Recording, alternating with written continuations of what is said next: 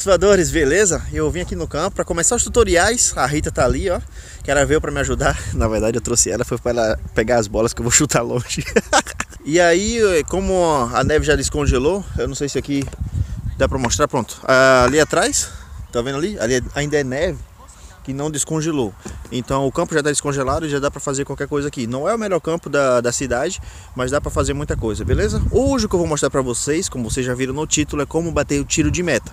Mas primeiro eu vou ter que calibrar as bolas, porque ela tem umas que estão murchas demais.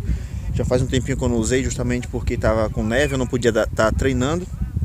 Mas vamos aqui calibrar e colocar chuteira também. A Rita não trouxe chuteira, mas eu vou programar que foi? Você quer falar alguma coisa? Eu acho que eu trouxe para apanhar bolas.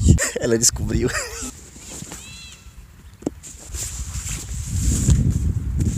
É muito importante poder calibrar as bolas porque você vai bater com a mesma intensidade, no mesmo lugar, do mesmo jeito que você vai bater nessa bola, você vai bater nessa aqui. Por isso que é muito importante, não digo que seja tão importante porque nem todo mundo tem condições de comprar bolas profissionais, porque as bolas, de, mesmo de segunda linha, ela faz uma grande diferença entre, um, entre uma bola e outra. Até mesmo no, no peso dela. Você pode calibrar igual, mas o peso vai ser diferente. Então, uma bola você vai ter, vai ter que bater um pouco mais forte, outra bola um pouco mais fraca. Por isso que eu gosto dos modelos profissionais, porque eu tenho aqui cinco bolas profissionais e eu vou bater exatamente igual em todas elas.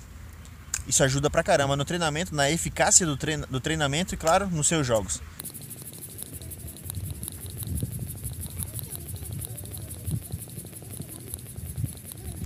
Que é que você está me filmando? É porque eu acho isso a coisa mais estranha do mundo. Ô, Rita. o Léo é assim, tem que equilibrar. É equilibrar que se chama, né? Calibrar. Uh, não é equilibrar, é calibrar. Oh.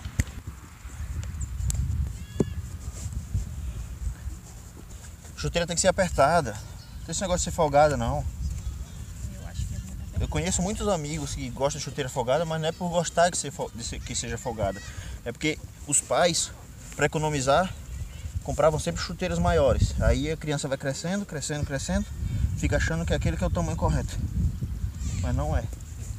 É assim, os outros maridos para as suas mulheres na Páscoa compram-lhes flores, o vinho da Páscoa, o coelhinho da Páscoa, sei lá, chocolate, ai eu não sei, qualquer coisa. Levam no restaurante, levam no cinema. O meu traz-me no campo para apanhar as bolas dele enquanto ele treina.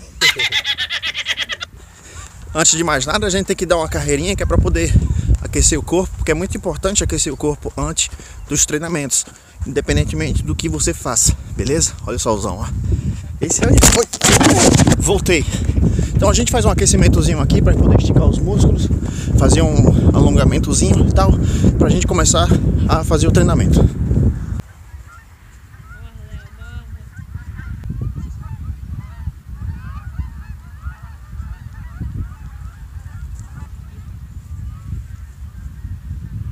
Tá bom, eu acho que já estou pronto. Antes de mais nada, eu queria agradecer a Roche por estar comigo durante esse 2019. Eu adoro trabalhar com a Roche, porque a Roche é Roche e é a melhor marca de luvas do mundo. Então, se você ainda não comprou a sua, vai lá no link que está na descrição e compre a sua Roche. Valeu?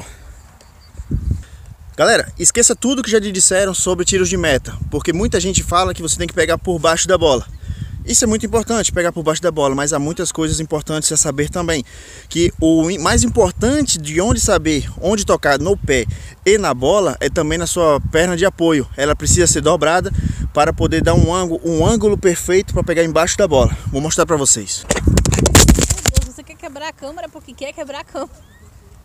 Eu vou começar falando, chutando as bolas no gol. Porque muitas, muitos de vocês vão treinar sozinho e não querem ficar chutando a bola no meio do campo para ter que ir buscar lá depois. Principalmente se você tiver só uma bola.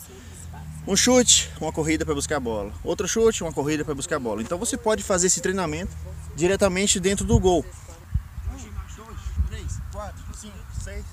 Vocês vão ficar aproximadamente sete, sete passos da linha do gol e você vai tentar tocar o mais, o mais alto possível do, do gol. Se você conseguir tocar na trave, mas também não para passar a bola por cima da trave, senão você vai ter outro trabalho de ter que ir buscar. Se você conseguir chutar a bola uh, dentro do gol, mas bem perto da trave, você vai estar chegando no ponto, no ponto ideal da altura da bola, beleza? Vamos lá. Eu acho que eu ainda estou um pouquinho mais longe. Reduza isso a cinco passos.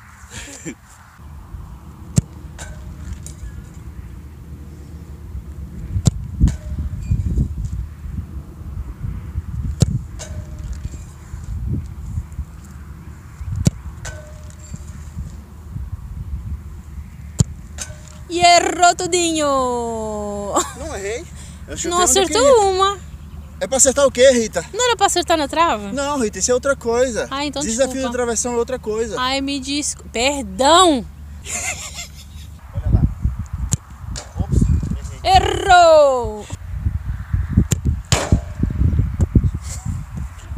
Eu sabia que eu fica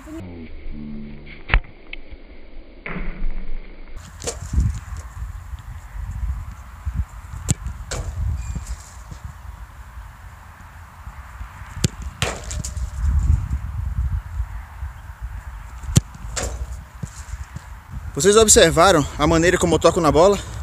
Não é só tocar embaixo da bola, mas é a perna de apoio. Eu vou mudar a câmera de lado e vocês vão observar do lado da perna de apoio como é que ela vai dobrar.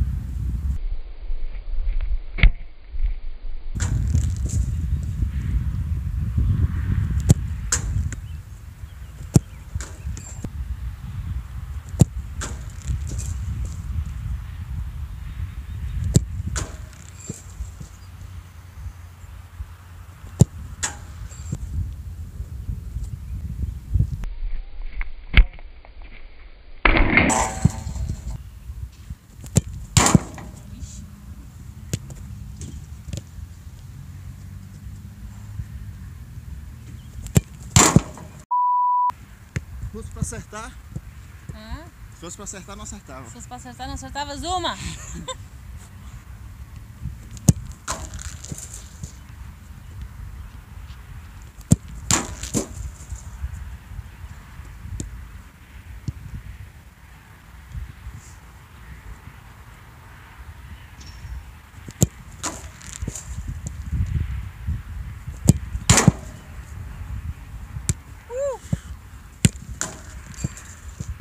Pois é, galera. Eu sei que muitos de vocês vão dizer: ah, mas a bola não pega altura, a bola não pega distância. Isso tudo é questão de treino e, claro, treinamento físico também. Agachamento, levantamento de peso. Se você puder fazer academia para poder reforçar as pernas. Hoje teve até alguém que me deu uma ideia eh, para passar para vocês. Se você não tem dinheiro para pagar uma academia, claro, você pode, pode andar de bicicleta na marcha mais pesada, que isso vai fortalecer as suas pernas. Você pode ver que, que depois de algumas semanas a, a força das suas pernas vai melhorar, porque é nisso aí que você vai ah, chutar a bola mais longe. Ah, Léo, mas eu já tentei fazer isso e nunca consegui. É porque você não está treinando o suficiente. Como diz o ditado, treine o suficiente para não errar mais. Não é treinar até acertar. Você vai treinar até não errar mais. Vou mostrar aqui pra você aqui na prática. Vou mandar a bola lá no meio do campo, onde a Rita tá. E se a bola for muito longe, ela vai lá buscar. Ei, caramba, tô contra o vento. A bola não vai chegar lá no meio do campo, não.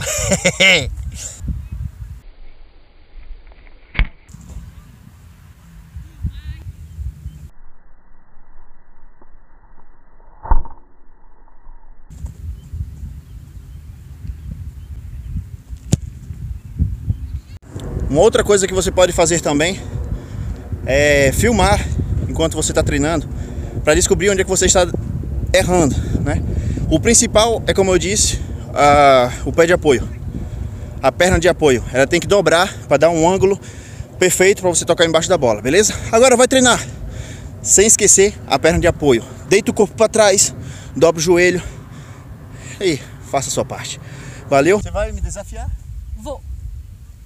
O meu desafio é ou tocas as 5 bolas na trave ou eu não faço jantar e quem faz és tu. Ixi, eu não vou nem, não vou nem fazer. Olha lá. Então acho melhor me sentar. Ups.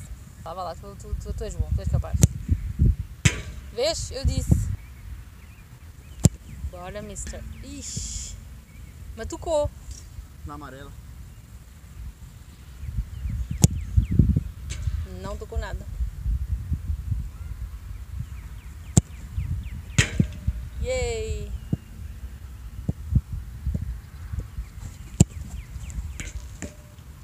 Errou de novo. Tocou, tocou. Tocou? A gente brinca de tentar acertar o travessão, mas isso também é uma maneira de aprender a conhecer a bola. Porque em- tudo na vida que você fizer, você tem que ter intimidade com aquilo que você está fazendo. Seja com a guitarra, quando você está tocando a guitarra, um violão, um instrumento musical, um carro, uma moto que você está dirigindo. A mesma coisa com a bola. Se você é goleiro ou mesmo jogador de linha, você tem que ter a manha, tem que conhecer, tem que fazer as duas peças se tornarem uma só. Chamou aqui Ok. Léo, Ah, como é que se diz no Brasil o frisbee? frisbee. Ah, também é frisbee?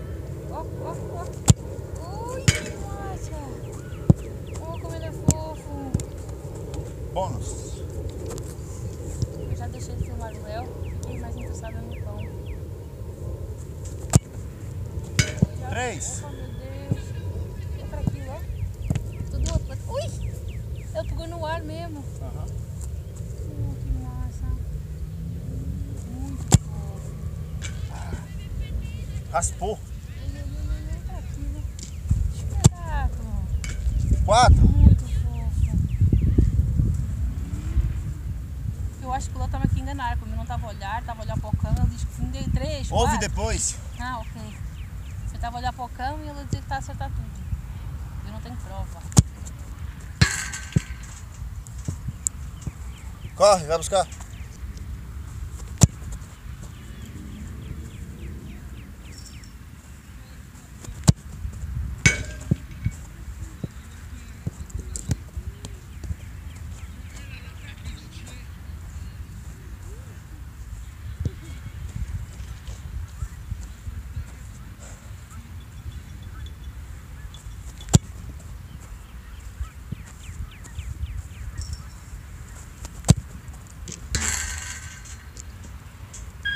Eu acerto na bola pra ela sair de lá ou acerto no travessão? Acertando a bola para sair de lá.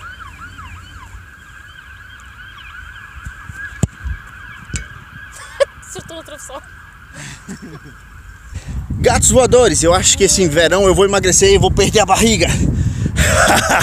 eu espero ter ajudado vocês. A Rita quer deixar um recado para vocês também.